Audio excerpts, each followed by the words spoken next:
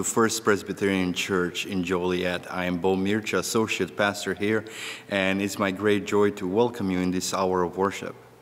I keep thinking about how important worship is in our life and how this one hour that we spend together can change our lives. Part of it is because God wants to fellowship with us again and again. From the time of creation, God wanted to spend time with his people. And when you think about the law and the Sabbath, about having a day that is dedicated unto God, those are things that are not to be taken easy because there is so much power and richness in, in, in it. So this is a time for us to come and to receive the blessing of God. So I invite you to open your hearts, open your minds, open your soul to what God is going to do. It's time for us to worship. Let's worship. God is with you. God invites us into a relationship with Him and calls us to worship. We read in the scriptures Seek the Lord while he may be found, call upon his name while he is near. The Lord God, who loves us deeply, is calling us into a time of worship with him together with his people. God, through Jesus Christ, is reaching out to us in love. Please pray with me. God, we thank you that you love us deeply and you reach out to us again and again through Christ Jesus, through your Holy Spirit. So nurture and shape and guide us as we worship you together this day. We pray it in Jesus' name. Amen.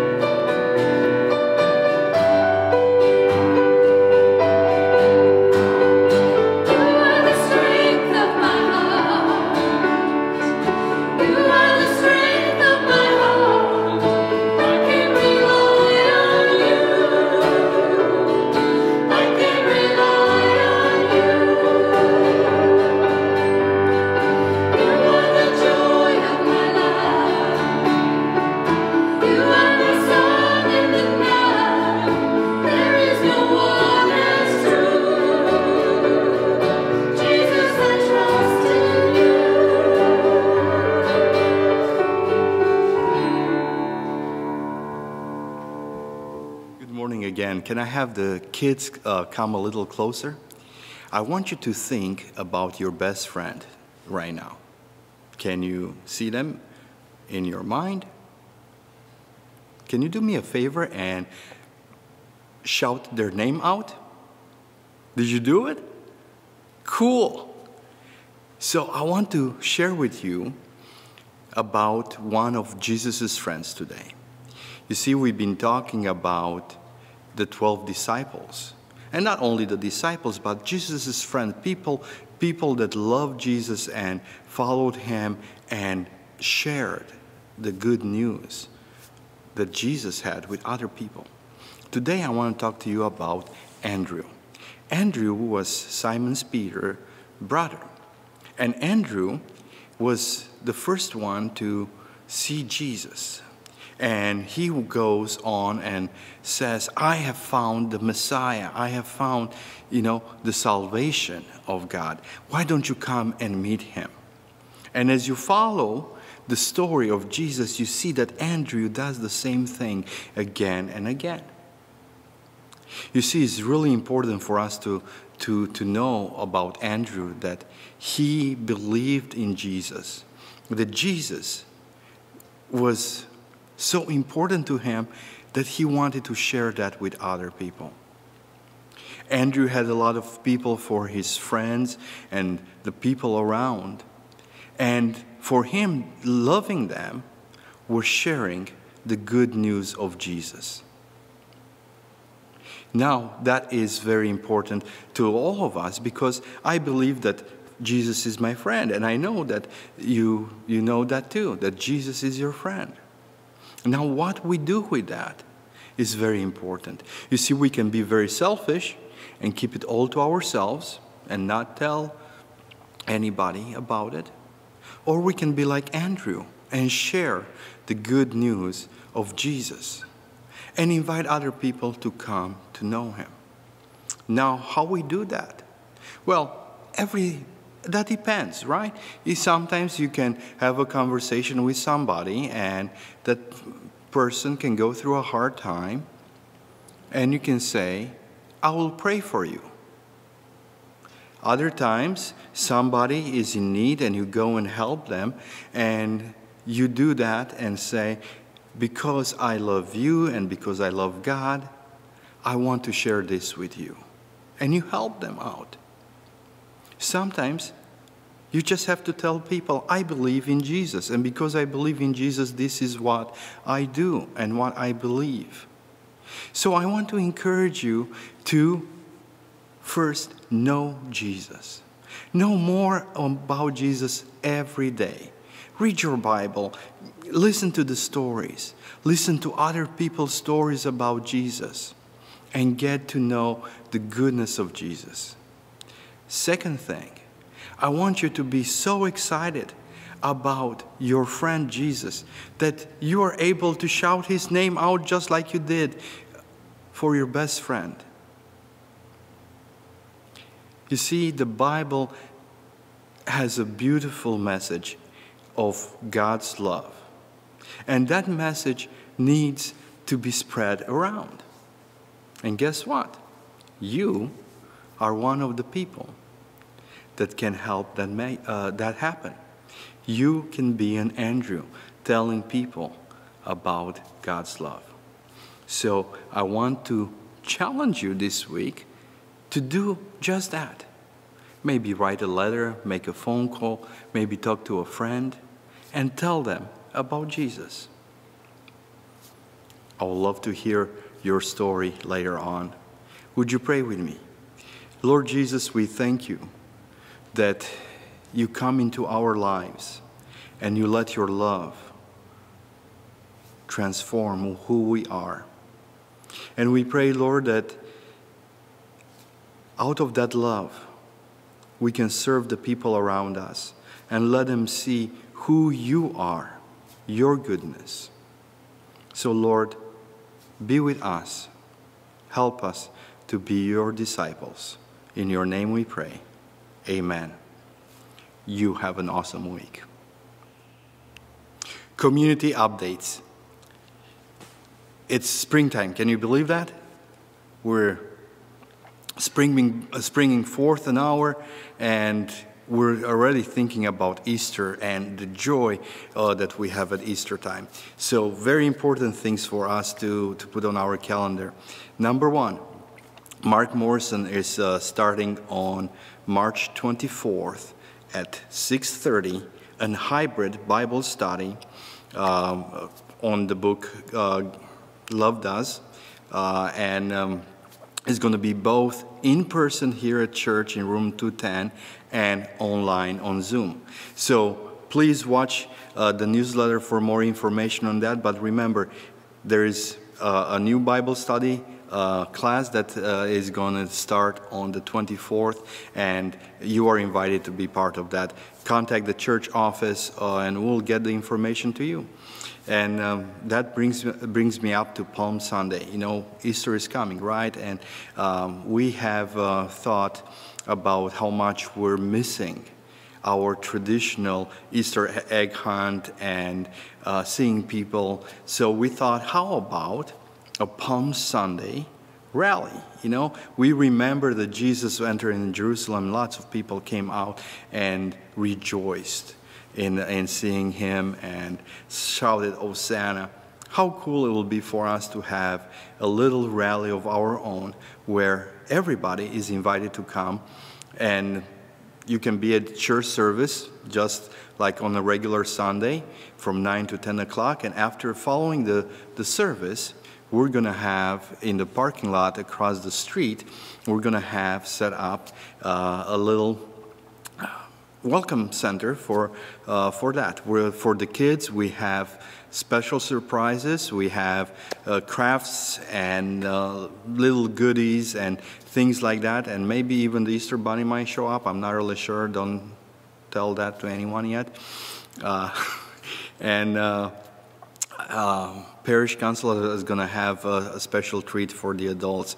So it's our way of start thinking about how important is this season in our lives, right? Palm Sunday, Easter, it's always, always important. And that brings me to Easter Sunday. Now we are planning for two services on Easter Sunday at 9 o'clock and at 10.30. And uh, we want you to, to make reservation ahead of time, like uh, just like before. And um, I think with great enthusiasm and expectation towards that day, because it will, you know, it's always so good to be in God's house and celebrate uh, the resurrection. So I want to encourage you to uh, to be excited about what's coming up. So remember, Bible study on the 24th starting. If you need information, email the, the office and we'll get you that information. Uh, Palm Sunday rally, everybody welcome. We're going to have uh, things for kids, adults, for everybody. And then uh, Easter Sunday, two services, make reservation ahead of time. I hope that you're enjoying this beautiful day and have a great week. Take care.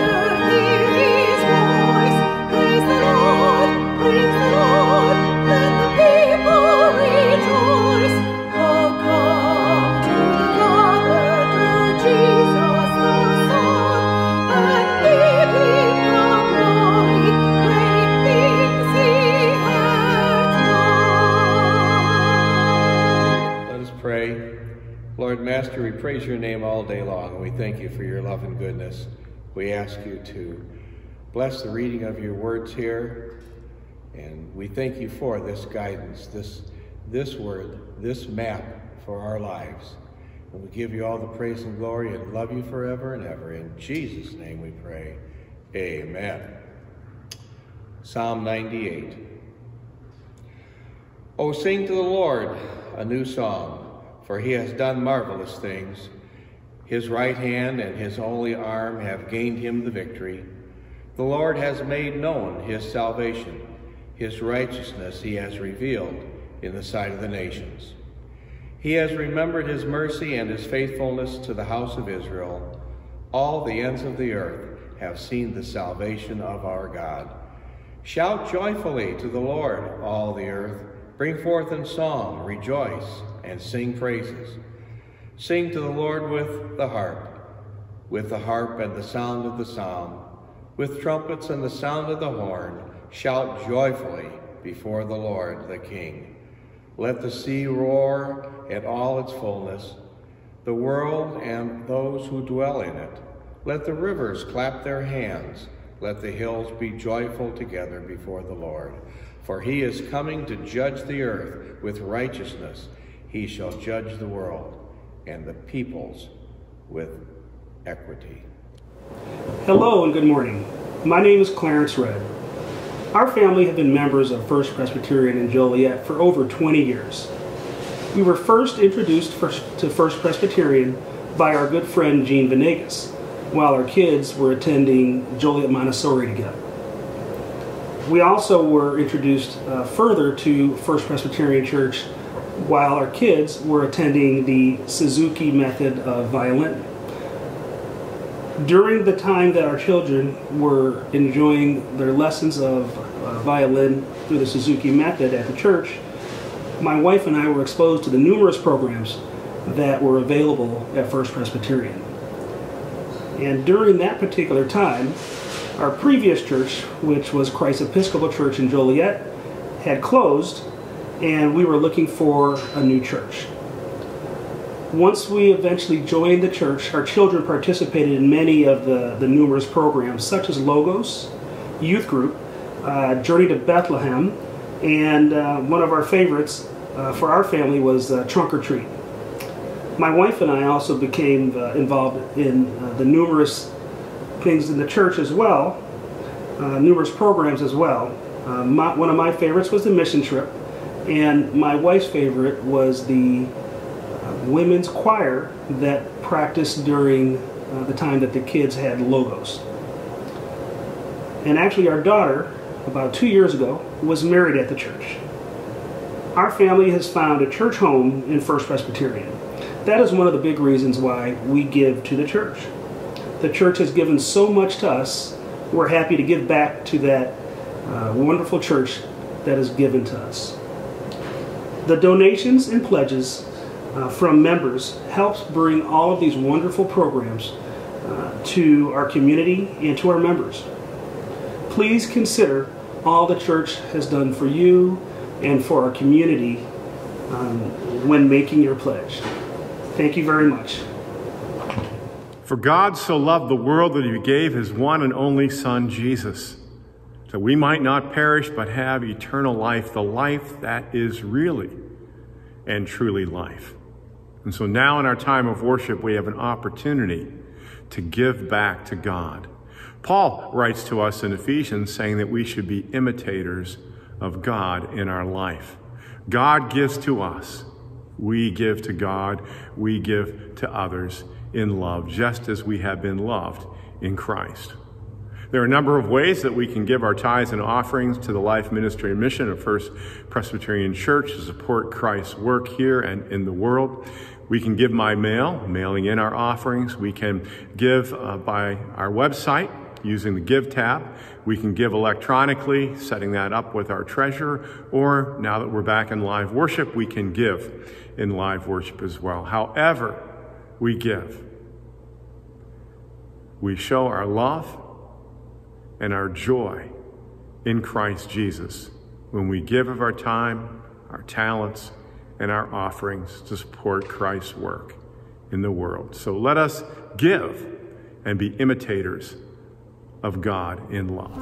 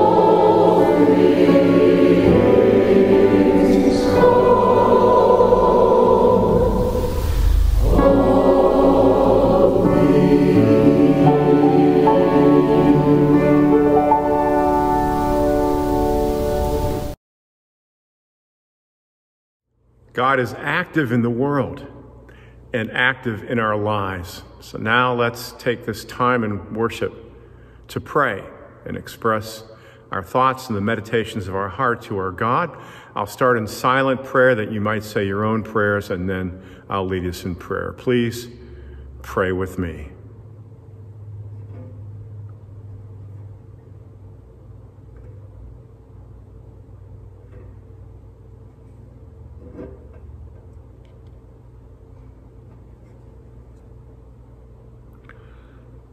Loving God, in the wilderness, you supplied water to your people. When throats have been dry or your people have felt parched, you have led them to streams of your kindness, bringing refreshment and new life. We thank you for the living water of Jesus, knowing that in him we need not ever thirst again. Cleansed of our sin and justified by Christ's faithfulness and sacrifice, we receive the promises of your grace. Given new hope of sharing your glory, we come before you with thanksgiving and joy in our hearts as the source of our having been washed and set apart as Christ's church. Hear our prayers for all those who feel pain and sorrow. May they persevere with greater patience and strength, and may you set them free from their pain. May our arms enfold them as we support them whatever be their trials. May our presence be a comfort as we bear with those who know sickness and disease. Lord, touch them with your healing power. We read in the scriptures that endurance develops character. So we ask that may we, through our mutual forbearance with our brothers and sisters in Christ, learn what it means to trust in your reconciling love. Having sent us your Son, who himself agonized with death, you have shown us to what extent you will go to relieve estrangement, sin, and distress. With our lives attuned to your purposes and your will, O Lord, may we be of hope to those needing your word. And may that word be one of reconciliation as others are enabled in Christ to find peace in your care and your presence.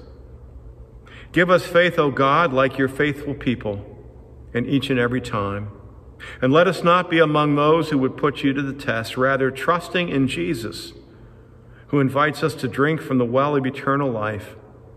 May we draw from him.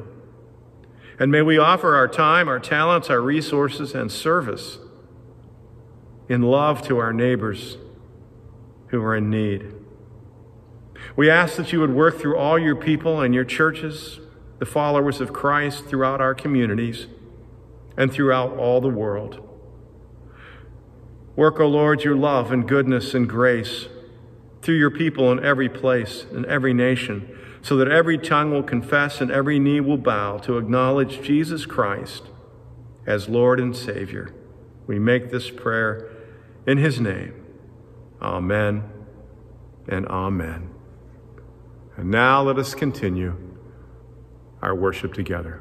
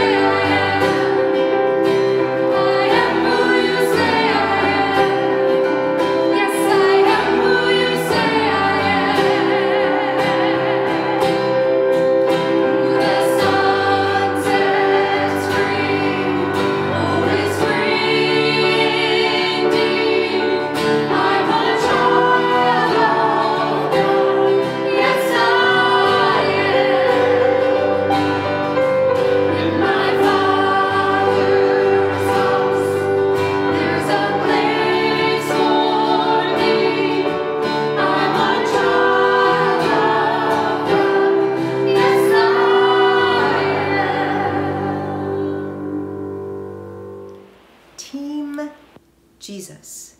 Who are you in the church? This is what we're thinking about during this Lenten season. Now, so far we've talked about John the Baptist. John the Baptist was known for his, his real talk. And there are people in the church that know how to speak the truth in love. We've talked about people with great potential, people like Peter. There are others in the church that also have potential like Peter did. We talked about shepherds, people who are able to offer compassion and care. And we've talked about providers, people that share their resources, people like Lydia and the poor widow. You know, one of the really great things about Team Jesus is there's not a limit on the number of people that can be on the team. It's truly a team that is without limit. Everybody is welcome. In fact, Jesus wants us to grow the team. He wants it to be as big as it possibly can. And there are some people in the church that are gifted with this, some people that are good at, at invitationalism, at hospitality. And today we're thinking about two kinds of invitation. One, follow me, is an invitation that Jesus issues. The other, come and see, is an invitation that we issue to one another. I absolutely love what Bob Goff had to say about this in his book, Love Does. Listen to this. When you read the Bible, the people who love Jesus and follow him are the ones like me who don't get invited places. Jesus told his friends they were invited anyway. In fact, he told them that the religious people aren't the ones that decide who gets into heaven and who doesn't.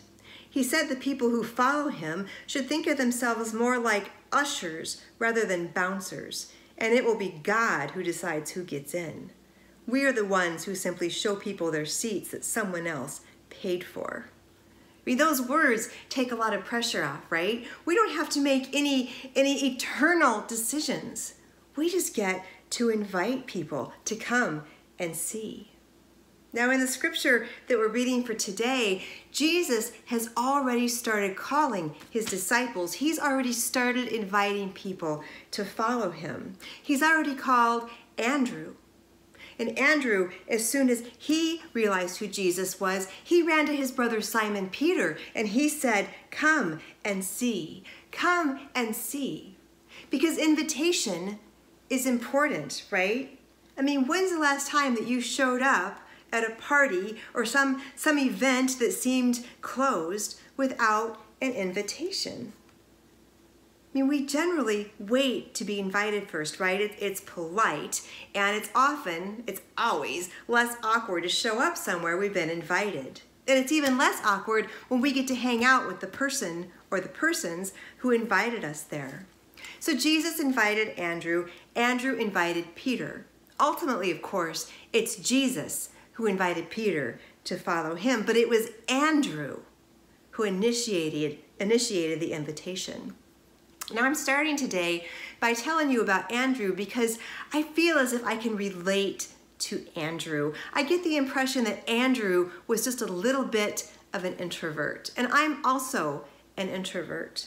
But I want everybody to understand that issuing the invitation to come and see doesn't mean that you have to be able to, to go uh, on a long theological tangent with somebody. It doesn't mean that you have to quote scripture verses one after another. It doesn't even take a long conversation to invite someone to a church worship service, whether it's online or in person, or to some other church event.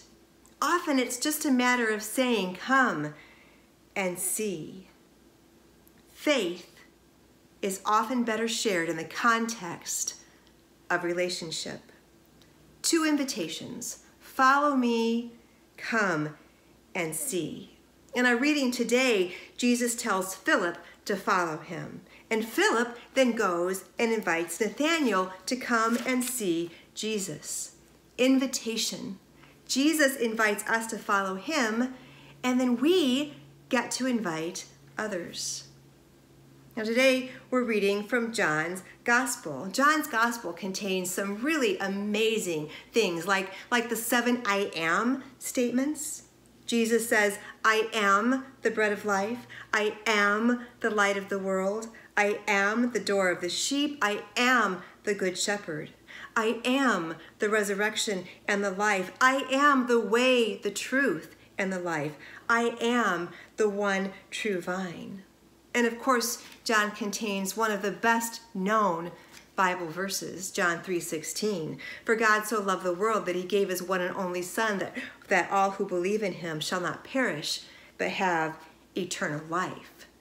This is the team that we're on. This team Jesus. And yet this Jesus, he wasn't always who people expected him to be and he's still not. You know, Jesus, he came as a humble king, a, a loving savior.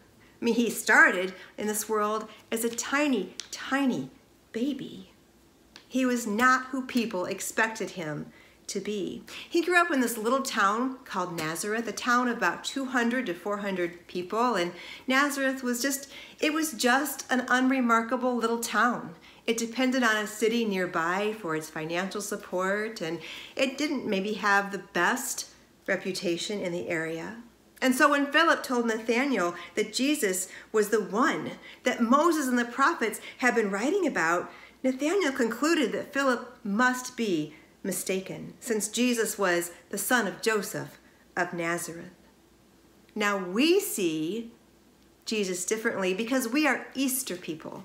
We know more of the story. We know that Jesus is the light of the world.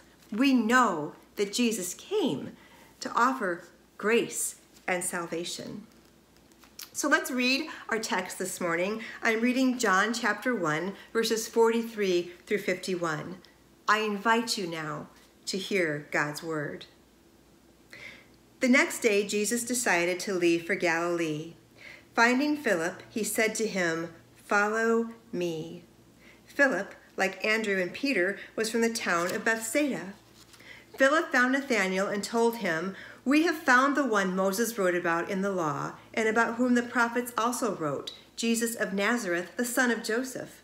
Nazareth? Can anything good come from there? Nathanael asked. Come and see, said Philip. When Jesus saw Nathanael approaching, he said of him, here truly is an Israelite in whom there is no deceit. How do you know me? Nathanael asked. Jesus answered, I saw you while you were still under the fig tree, before Philip called you. Then Nathanael declared, Rabbi, you are the Son of God. You are the King of Israel.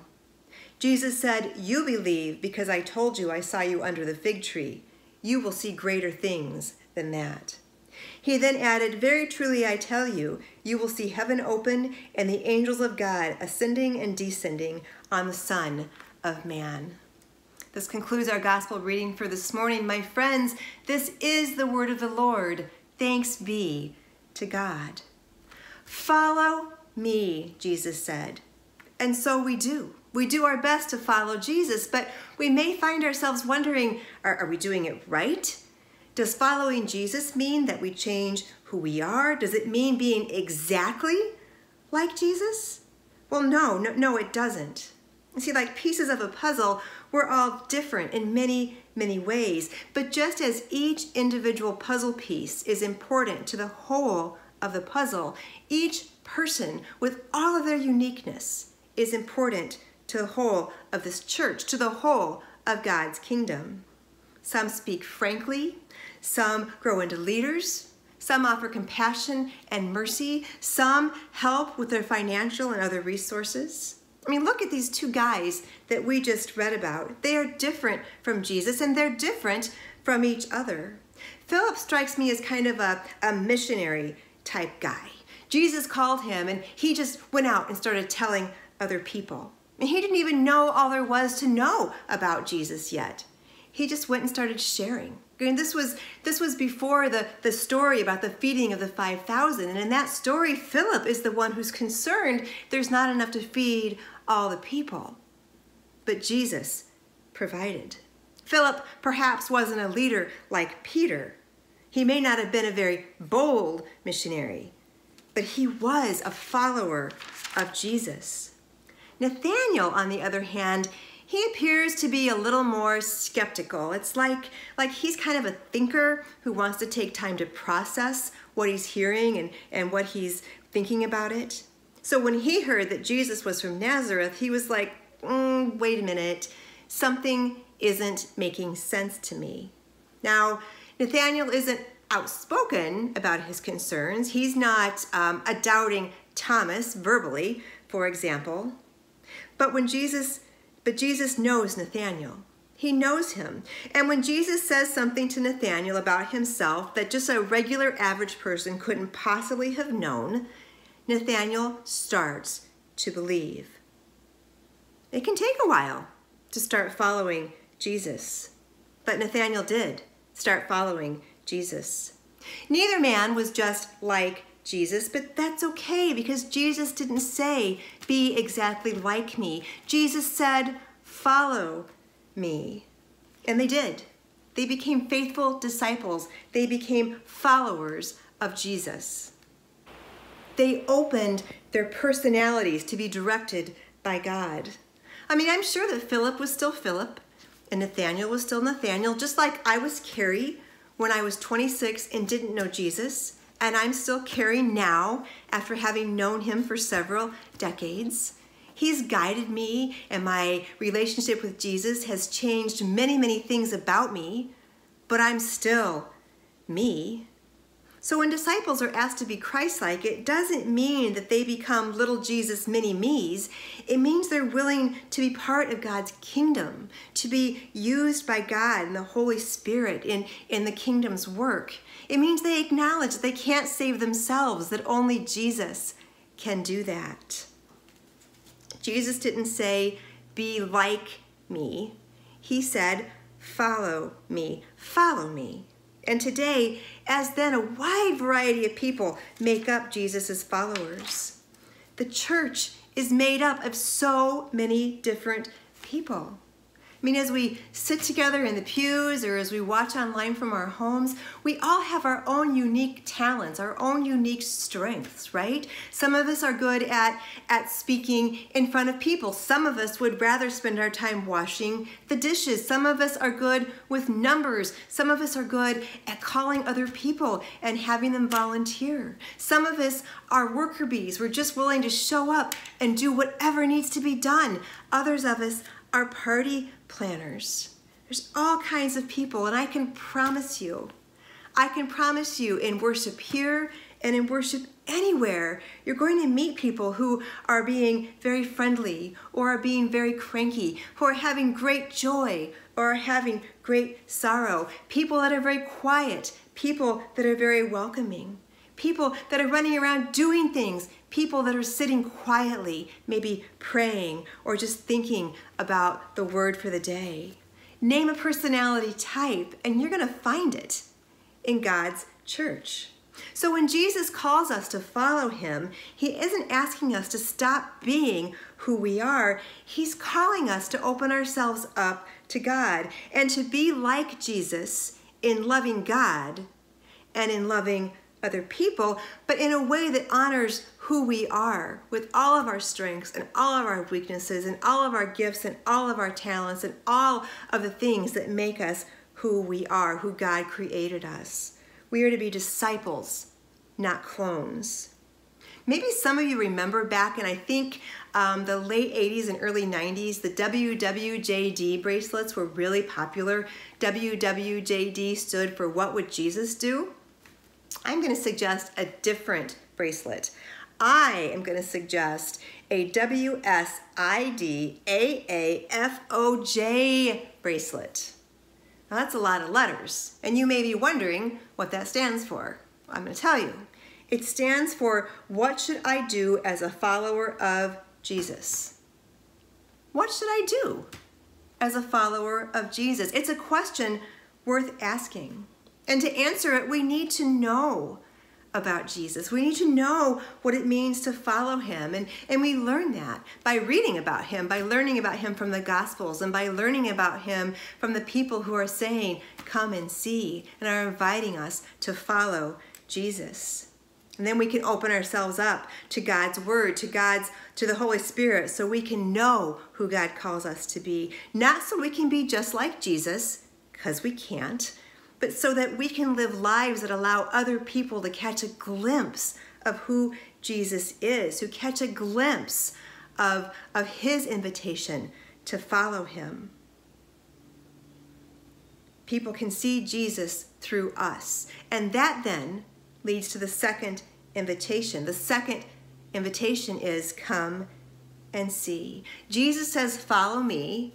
And then there's come and see. Philip can't prove to Nathanael that Jesus is who Philip believes him to be, but he can say, Come and see. You see, Philip had seen Jesus, he had met Jesus, and he wanted to share this with other people. Now, a churchy phrase for this is to witness, to witness to our faith. It just means to testify, to tell the truth, um, to afford evidence of something. And that sounds really complicated and that sounds a little bit scary. But really, it's just sharing Jesus with other people. And for some people, this flows effortlessly. I have a couple of friends who can just just tell people about Jesus and they're comfortable doing it. And somehow or another, they make the people they're telling comfortable about sitting and talking with them. It is a sight to behold, and I admire that gift. I don't have that gift. I, I just, I, I'm not made that way. It's not always so easy for me, but I want everybody to know Jesus because I've experienced the life change that knowing Jesus causes.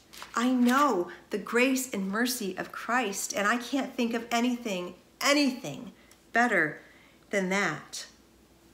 We want people to know Jesus, we want them to meet him. And when people meet Jesus, more and more people start to follow him, and that means that the church grows. And that's wonderful. Church growth is a good, good thing. Remember, this team, it's limitless. It's it can be as big. It can be as big as big can be. That's what Jesus wants. But sometimes we get so excited over the growth that we start focusing on the, the technique kind of things. We start focusing on, um, I, I, don't know, like, like what we put on the video screens or what we post on Facebook or, or um, the music or who sits where, whatever. And those things are important because they make up the worship of Jesus. But we lose sight sometimes of the relational aspect of following Jesus. And so many times, the best way to share Jesus with someone is through invitation and relationship. To just invite them to come and see. Come and see. I want to be clear this isn't just a pastor's job or an elder's job or a deacon's job. This task doesn't belong just to the people that it seems to come effortlessly to. This is a task for all of us. Remember, Jesus' invitation to follow him doesn't exclude anybody. And so our invitation to come and see needs to include everybody. So just invite someone. Invite someone to worship or a book study or a Bible study or a movie night or some other fellowship activity or, or a mission event. As you get to know someone better, invite them deeper into your life if they're a safe person. Share more with them. Share maybe what Jesus has done for you in your life, what it means to you to know Jesus. Just say, Come and see. Come and see what Jesus has done for me. Come and see who Jesus is. We never know when something we say or something that we do might be the moment that someone decides to check it out or maybe even decides that they're going to accept Jesus' invitation to follow him. You're thinking about what we read this morning, you might wonder, well, who is Nathaniel anyway? He didn't seem too interested in Jesus. He's hardly mentioned in Scripture at all. But remember, the invitation to follow Jesus is for everyone, everyone. Philip meets Jesus and he starts telling people, inviting people. The text reminds us it invites us to speak the truth of our faith experience, even to those people that we think maybe don't want to hear it. even to those people who might decide that we're just a little unusual because of our faith.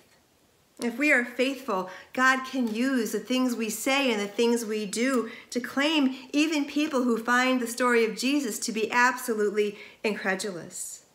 And it's also a reminder for some of us that there maybe was a point in our lives when we didn't know Jesus, when we weren't following Jesus, and someone said to us, Come and see.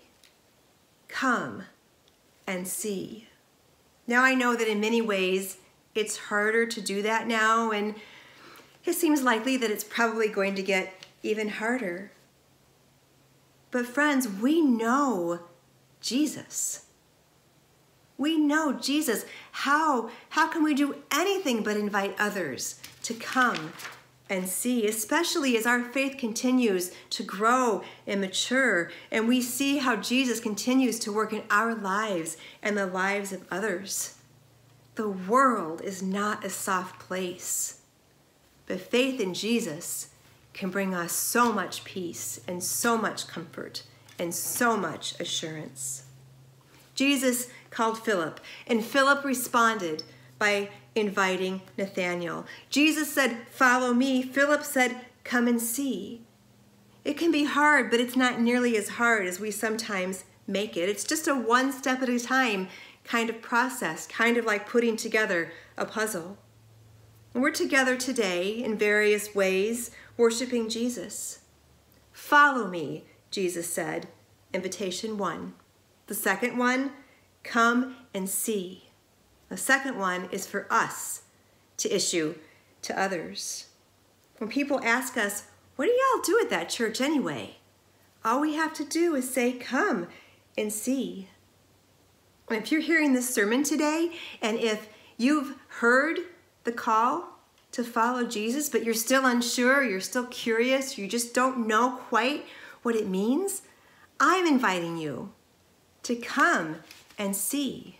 Spend some more, more time in worship with us. Give one of the pastors a call. Talk to somebody that you know that, that comes regularly to church.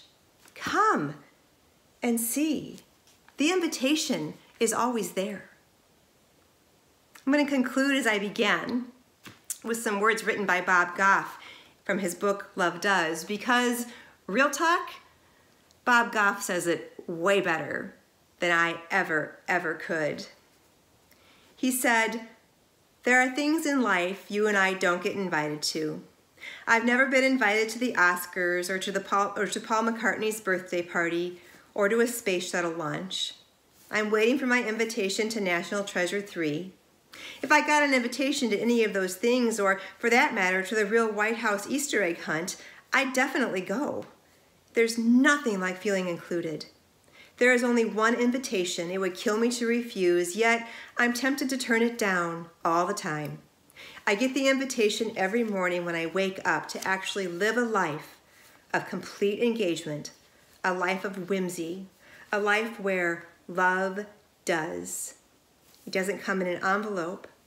It's ushered in by a sunrise, the sound of a bird, or the smell of coffee drifting lazily from the kitchen. It's the invitation to actually live, to fully participate in this amazing life for one more day. Jesus says, Follow me.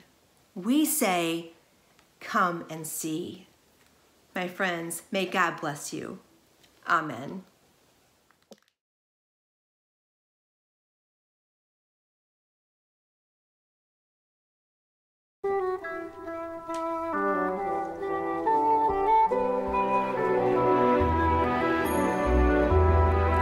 I heard the voice of Jesus say, Come now and follow me. Lay down your earthly care, he said, and I will set you free. I came to Jesus as I was, I had no gift to bring. He took my stubborn will, my pride, and taught my heart to sing.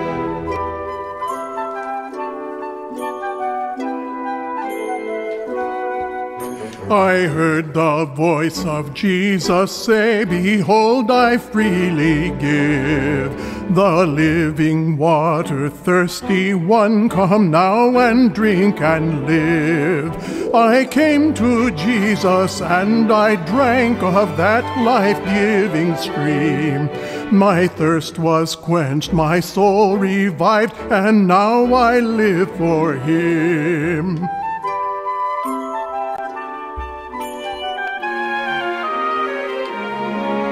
I heard the voice of Jesus say, I am the dark world's light. Look not upon me, your morn shall rise, and all the days be bright. I looked to Jesus, and I found in him my star, my sun. And in the light of life I'll walk till trans